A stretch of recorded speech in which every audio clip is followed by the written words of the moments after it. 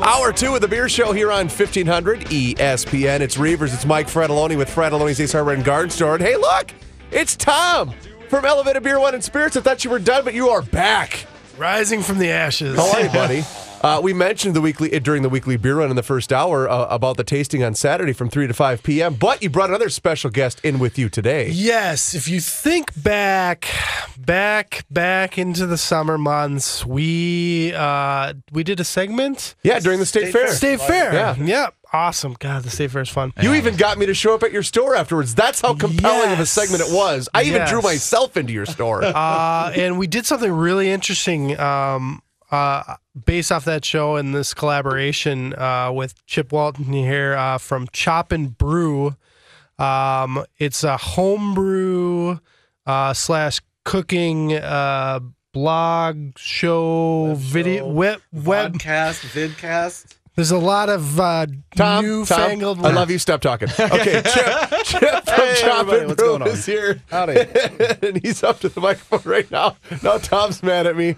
Uh, thanks for coming back on the beer show again, man. We appreciate it. Thank you, thank you. I didn't want Tom to butcher the introduction anymore, Yeah. so I thought I would just So help him Chip out. started life as a uh, a lower tier student, we'll call it. Um, He really likes sunflower seeds. No, I'm kidding. no, I right. think he's trying to say we did the live show at the state fair, and then the Saturday afterwards, uh, we kind of crowdsourced this recipe. right, yes. we brewed it in the parking lot of Elevated. That they set so us up with a pimp tight Yes. tent, and it was really good. We had, I'd say, 20, 30 people throughout the day stop by and kind of learn a little bit about the process. Well, and it's kind of- interesting. yeah, yeah. it really is. What did you make? What we were? I was trying to remember. You crowdsourced everything, right? Because Yeah. they got to pick what hop he was using, everything. Yeah. Lesson it turn number out? one: don't do that. Don't do that. See, Don't I said we had, crowdsource. we had that idea that we should crowdsource the name. You can crowd fund, but crowdsourcing. It's a whole basic- different ball. Did the beer not turn out great, or was I- it? it did not, but I don't think it's necessarily at a fault of the crowdsourced recipe. Even there, this thing was kind of destined to fail, and I don't want people to think that homebrew is It's like hard, that. I realize I'm I'm promoting a show about homebrewing, and I'm going to tell you about the worst beer. But um, you know, it was a we boiled it down to calling it a pale rye mild. It ended up being kind of like an American grain bill with American hops, kind of some English influence, but this English yeast, I think, kind of didn't let the American hops shine. It Okay. turned out kind of muddled and minerally. I'm gonna rebrew it though. There was a lot of things after the actual brew. It's weird. Imagine like working, being a woodworker, and saying, "Hey, I'm gonna go to a parking lot and take my entire wood shop out to this parking Right, lot." right. Then you're like, "Where's my drill bits?" And Yeah. so going and brewing in a foreign place is kind of weird. It was really warm. We couldn't get the wort cool enough for the yeast to be extremely happy. So it was kind of. I'm glad that people came out and saw the process more than anything because it will turn out generally. But in this case, some things back at the house were kind of working against it as well. But All we're going to rebrew it. That's the point in a more comfortable and controlled setting. Controlled environment. Yeah. All right. So first of all, let's start at the let's start with the basics. Uh, what is chop and brew? Chop and Brew is a webcast about home brewing and cooking at home. For the most part, it's much more about home brewing. So it's uh, you're riding along for brew days, or maybe you're hearing from some of the really wise and award-winning homebrewers of the Twin Cities region, or we travel. There's been some episodes from Pittsburgh, Austin, Texas, but it's kind of more of a celebration of the culture of homebrewing. It's not so much nuts and bolts, one, two, three, instructional, even though that kind of creeps out through the entertaining side. So it's a 10 to 30 minute webcast, depending on what the topic is or how crazy we're going. And you have a big background uh, in beer, uh, obviously, given that you uh, also work for Summit. Right. And my day job, when I'm not ruining beers in parking lots, what I like to do is leave it up to the pros. And um, yeah, I do social media and video, blogs, digital marketing for Summit Brewing Company in town. So it's kind of like between getting really good beer at work and knowing a bunch of really good homebrewers on the show, I can kind of be that guy that's like, I'm going to a parking lot. We'll see what happens. Yeah. I'm going to ferment in a 95 degree garage and we'll see what happens. Right, so right, right. um, kind of wacky like that. Um, but yeah, we're actually going to start hopefully a homebrew club here at Summit in the new year, and the point of that will be to kind of be the testing ground, the R and D before the R and D for potential new You'll be the olive branch, basically. yeah basically. some That's actually a grains and some hops idea. that Yeah. no one else can get. Our head brewer and brew crew are going to let us kind of get familiar with them so they can taste. Oh, okay, in a very basic form, this is what becomes the next beer, possibly. And because Summit has been around and so successful for so long, you know, we kind of almost take them for granted. You know what I'm saying? Absolutely we Uh, do. even though they're they're they're here in St. Paul, they're a fantastic beer, Six years ago, that's what we were drinking exclusively because Well, you had nothing else. and it's it's still it's Not- a great and beer. I didn't mean to say it like right. that. I didn't mean to say it like that. no, but I mean from what 1987 or what what year? 1987, huh? 86, yeah. 86. If you wanted to have a craft beer, you're drinking Summit. Period. Do you do you want to know how I know that the year is 86? Do you want to know why? How I know? Because I the Uh, real first chest hair for the, you. No, the only reason that I did good in school and got good grades is I was fantastic at word association, and why I would always say, okay, uh, his name is Tom. He's got a top hat on. Okay. Things like that. Sure. 86 was the year Top Gun came out. And so I always think. Well, are you the Top Gun? Well, no, but it's because I was eight years old when that Okay. movie came out. I'm like, okay, they came out the same year Top Gun did. That was 1986. Is that the same year you got your Tom Cruise tattoo? Yes. Okay. Sorry, Tramp that was a really odd history lesson, but that's how I knew Summit's been around from '86. But you guys are constantly doing at Summit. You're you're constantly evolving and trying new things. Yeah, we've got uh, you know the Unchained series, the Union series. We're gonna put out a double IPA in 16 ounce cans in the spring, which has been something that people have been asking for for a while. Um, Is this Summit's first time in a can? No. No, we've been in 12 ounce cans since last April. Okay, EPA okay. I'm Saga sorry, you're then right. seasonals. Um, got a couple other projects. I guess I'm probably not able to talk about, but there is going to be a new year-round beer launching in April that'll have a couple other unique things. Really? Uh, besides just being new, it'll be our first 16 ounce year-rounder. Nice. think that's all I can it's say it's about so it at the hard because they. Okay. can't make a mistake. What do you They're mean? so big. You know, if you're a small brewery, you can throw something out on the market and have it not be great. But True. you shouldn't. You You shouldn't. shouldn't, but you could, right? And No, it doesn't really shouldn't. kill you. Mark Stutrud would say no one No. should pay for your learning curve, and we dump beer. I mean, That's- when we come up that's a with a good new beer, I guarantee you, the first beer, the first run of this new beer in April will not be the you know the one that goes The in final a can. one, Like okay. Damo and Mark will.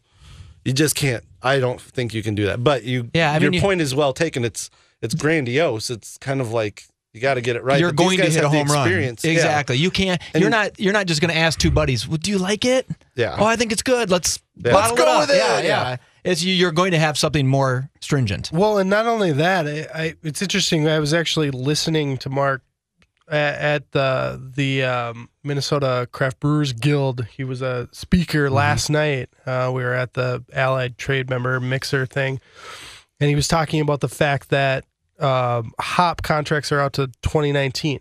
So you need to be thinking about which hops you are going to be using Five years out. out.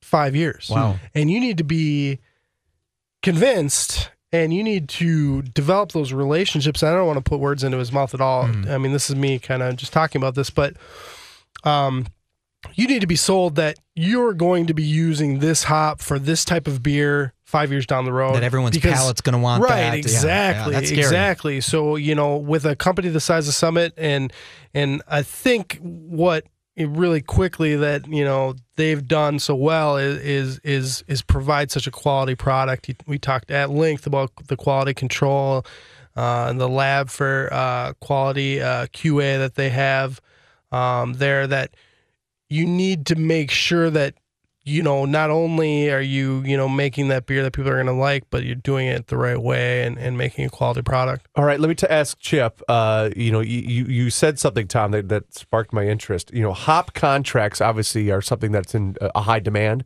I, I think it's safe Yeah. to assume that right now. Why have we not seen with the craft beer explosion? Why have we not seen the hop farming explosion, especially in this market?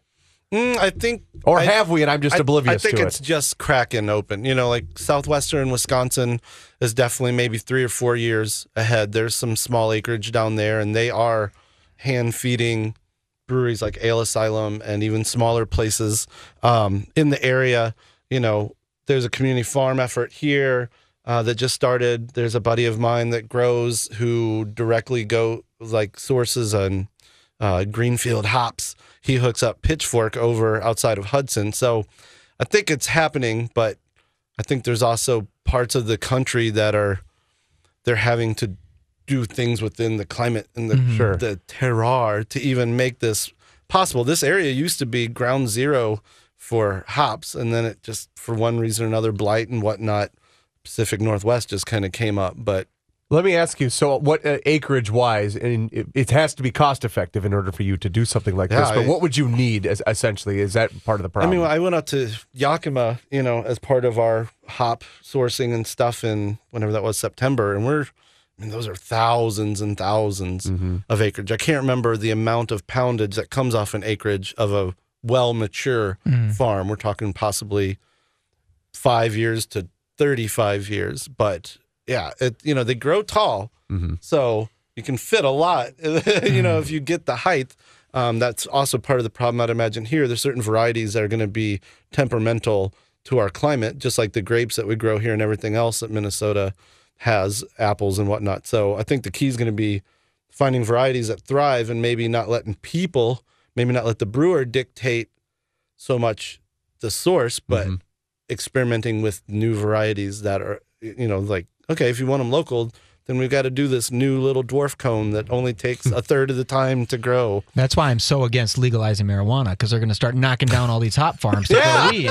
Make my beer not- get expensive. That's right. I don't want to double. I'd rather have my weed be twice the price and my beer be half the price. That's folks. I don't even smoke marijuana. I just He's wanted to kidding. say, He is totally kidding. joking. That's Kind of. Okay, You're yeah. kind of. I am absolutely, absolutely kidding. Okay. Uh, so chop and brew. Chop and Uh, brew. Here's your here's your chance to tell us what's coming up, what we can expect, and where we can find it, sir. Oh man, we've got the New Year's going to be some traveling. I've got a couple episodes from Pittsburgh. We're going to try to get more Look at into you. the yeah. We're going to try to get more into the chop side. Some how to make salsas at home, how to make turkey stock at home. I just brewed like a fourteen percent uh, Samichlaus clone, which is this Australian quad bock. Um, there's just tons of ideas. There's not enough Not a time as double with bock. everything in I'm just gonna life. shake You- my head like I know what he's yeah, talking you want to do like kimchi and pretzels and this, that, and the other thing. It's, there's a lot of stuff coming. It's chopandbrew.com. We've got some merch uh, online, but we also have some merch at the Beer Dabbler store. So if you're in the last minute for your chopper or your brewer in your life, the Beer Dabbler has some beanies and some awesome pint koozies, or you can't say koozies, pint sleeves. You know what I'm going to call Apparently, the koozie folks are on a uh, Oh, I think we should rampage. give him a moniker of Chip Chop. Chip chop. Chip Chop, right? Do people call you Chip Chop? No, No, but now his they face will. Should, his face should be on T-shirts everywhere. Chip chop or chip and brew. No, Yikes. Chip Chop. Chip Chop? Because his Okay. first name's Chip and Chop. I got it. God, you, it's a liaison. It's coming CCB, together. Chip yeah, Chop and Chip Brew. Chop. cutting Chip Chop. boards. We got cutting boards. Okay, Those are online Yeah, only, there but you you, should Nice. check those out. Those are beautiful, handmade by a Summit coworker and a Minneapolis homebrewer named Tyler. Uh, black walnut and maple. They're beautiful. All right, well that's all fantastic. What's if the you're in for that kind of stuff, Uh, Yeah, what's the website, Yeah, what's Chip? the website? Oh, that's great. chopandbrew.com. Awesome. Th- good I to see you again, it, man. man. Thanks for coming. I'm going to bring a much better version of this beer in.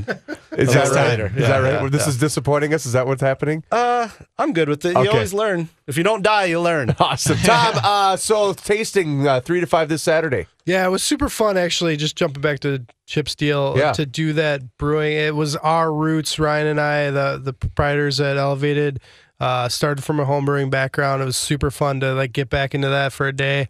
Uh, have that on site. We had a couple more. Uh, uh, in addition to Chip, his buddies were there brewing as well, and it was super cool. And and that was a lot of fun. But uh, um, w- you know, it just it, we want to tie into that because we're interested in in, in all aspects of, of the community with craft beer here and in any form that it takes, and and excited to partner with Chip and and what they're doing there. They have a really cool uh, blog, so you, You should check plant that some out. hops on the side of your building. Yeah, That's awesome. boom, Done. There you Boom. go. Uh, and the website is elevatedbws.com. Check us out at elevatedbws.com, uh, Facebook and Twitter, elevatedbws. We have a lot to get to and much more before 9 o'clock comes because you're listening to The Beer Show here live on 1500 ESPN.